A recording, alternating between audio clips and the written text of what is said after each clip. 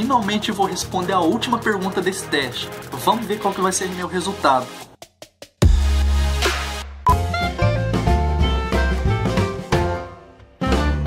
Fala pessoal, tudo certo? Aqui é o psicólogo Newton Campos e hoje o vídeo vai ser um pouquinho diferente. Eu vou entrar em um site aqui e fazer um teste de personalidade e ver de qual que é. Será que o teste é bom? Será que o teste é ruim? E é o seguinte, esses dias atrás eu fiz um vídeo sobre testes psicológicos e nele eu citei que tem alguns sites que oferecem testes de personalidade todo zoado. Se você não viu esse vídeo, eu vou deixar um card aí em cima que dá acesso a esse vídeo. Então assista lá porque o vídeo ficou muito bacana. E se você gostou dessa ideia, já curte o vídeo, se inscreva no canal e vamos lá. Vamos lá pessoal, eu achei esse site aqui e o título do teste é o seguinte: Teste psicológico. O que o teste da casa revela sobre você?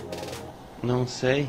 Este é um teste psicológico que busca extrair algumas informações do seu subconsciente através de perguntas que revelarão quem você realmente é. Sei não, hein? Vamos ver se esse teste vai revelar o que, que eu sou. Iniciar o quiz. Aparentemente aqui tem oito perguntas. E a primeira pergunta é a seguinte: para que esse teste funcione com você, é importante que leia as perguntas com calma e use bastante sua imaginação. Se precisar, feche os olhos. Ah não, então isso aqui é só uma instrução, não é uma pergunta ainda não. Tem duas opções aqui, ok ou entendi. E se alguém não entendeu, como é que faz? Não, mas beleza, eu entendi, eu vou colocar aqui entendi. Pergunta número 2, que seria a primeira pergunta, né? Imagine que você está em uma rua deserta, sem nenhum movimento. Ao olhar para frente, você vê uma casa antiga que lhe chama bastante atenção. Qual é o tamanho da casa? Bom, assim, para mim, eu acho que uma casa grande chama mais atenção que uma pequena, certo? Então, vamos lá na grande. Pergunta número 3. O que você sente olhando para essa casa antiga e deserta? Felicidade, ansiedade ou tristeza? Bom, no momento aqui eu tô tranquilo, não tô triste, mas se for pensar nessa situação de ver uma casa deserta, acredito que é ansiedade, porque eu ainda não sei o que, me espera lá. Então vou colocar em ansiedade. Pergunta número 4. Imagine-se agora indo em direção à casa. Você está saindo da rua e indo rumo à sua porta de entrada. No seu percurso até a porta, você passou por uma cerca, passou por um muro ou a casa não possuía cercas nem muros. Ah, essa aqui é fácil, né? Como eu sou um praticante de parkour, é lógico que eu passei pelo muro. Pergunta número 5. Você bate na porta e aguarda um pouco, mas não escuta nenhuma indicação de que a porta será aberta. Você decide então olhar pela janela e vê uma sala de jantar mal iluminada, um pouco empoeirada e com teias de aranhas debaixo da mesa de jantar. Quantos pratos estão sobre a mesa? Nenhum 1, 2, 3, 4, 5, 6, 7 ou mais? Ah não, mas essa pergunta é muito aleatória, ficou até difícil responder isso aqui, ué. mas vamos pensar na situação da casa no deserto. Assim, na minha imaginação, nessa casa não ia ter ninguém, porque tá no deserto, abandonado e tal. Então se tivesse prato lá, estariam todos quebrados, se desintegrando, não sei. Eu vou colocar nenhum. Pergunta número 6. Nesse momento em que você está distraído olhando para dentro da casa, você sente uma mão no seu ombro. Após o susto inicial, você se vira e vê uma pessoa que você conhece muito bem, mas já não vê há um bom tempo. Quem é essa pessoa? Um parente, um amigo ou outro? Sei lá, cara, essa pergunta é muito estranha. Mas beleza, eu vou colocar aqui um amigo. Pergunta número 7. Você e a pessoa conversam um pouco, então você e a pessoa conversam um pouco, então a pessoa lhe dá um abraço e entra na casa lhe deixando a sós novamente. Como você se sente? Beleza, então deixa eu pensar aqui. Tava lá olhando de boa lá na janela, de repente chega meu amigo e bate aqui a mão no meu ombro, me dá um puta de um susto. De repente a pessoa me dá um abraço e depois vai embora. Como eu me sinto? Eu ia me sentir um pouco aliviado, mas não tem essa opção aí. Será que eu poderia me sentir feliz?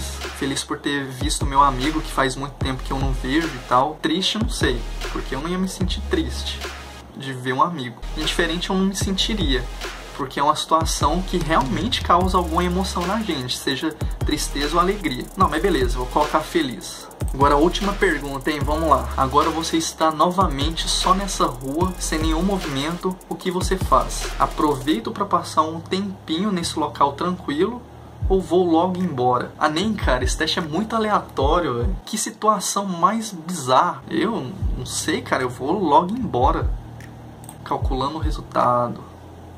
Beleza, então olha o resultado, vamos ver o que, que deu. A casa antiga na rua deserta representa o seu passado e as memórias que você guarda. Quanto maior for a casa que você imaginou, maiores são suas lembranças. Isso aqui tá me parecendo muito mais uma metáfora do que um teste, mas beleza. Vamos continuar. O que você sentiu ao olhar para casa representa como você se sente sobre seu passado. Se você sentiu felicidade, você deve ter ótimas lembranças dos dias que já viveu.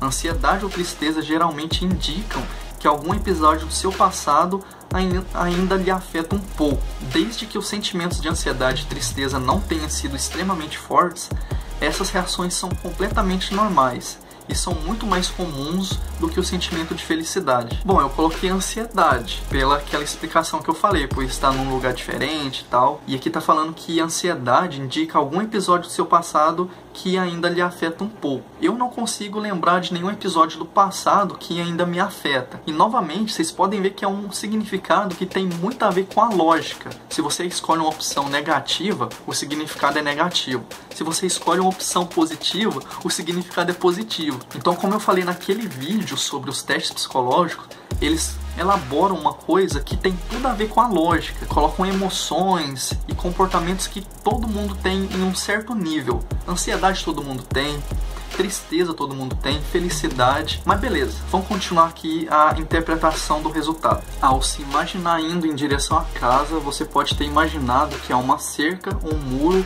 ou nenhum obstáculo. Quanto mais protegida for a casa, mais defensivo e reservado você é em relação ao seu passado. Eu escolhi o muro. Então aqui está dizendo pela interpretação que eu sou muito defensivo em relação ao meu passado. E eu acho que isso não bate comigo, na boa. E ainda acredito que essas interpretações estão muito mais ligadas a uma metáfora. Vamos continuar. Uma casa sem nenhum obstáculo indicaria que você está completamente à vontade com seu passado e não tem nada a esconder. Uma casa fortemente murada e protegida pode indicar que você tem algum segredo ou algo no seu passado que lhe deixa um pouco desconfortável. Não. Então, para eu ter um resultado que eu acredito que combinaria mais comigo, eu teria que responder que a casa não teria nenhum obstáculo, mas eu não queria responder isso, eu queria colocar um muro. E analisando aqui aquelas perguntas com essas interpretações metafóricas, induz a pessoa a responder com aquela expectativa que o resultado vai ser perfeito. E isso se a pessoa responder de forma lógica, usando raciocínio. E num teste psicológico, a gente tem que responder de uma forma mais sincera. Por isso que nós psicólogos somos treinados para passar uma instrução clara do teste, para não haver essas interferências. Então vamos continuar. Ao olhar pela janela da casa, você está simbolicamente olhando para o interior das suas lembranças. a quantidade de pratos sobre a mesa representa o número de pessoas que.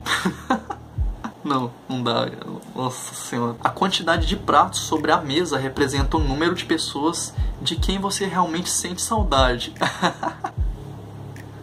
Mas o que que é isso, cara? Que doideira. Eu não escolhi nenhuma, então não sinto saudade de ninguém. Eu sou um cara insensível, sinto saudade. Sou um cara muito ruim, velho. Cuidado comigo. A pessoa que que que que, olha aqui.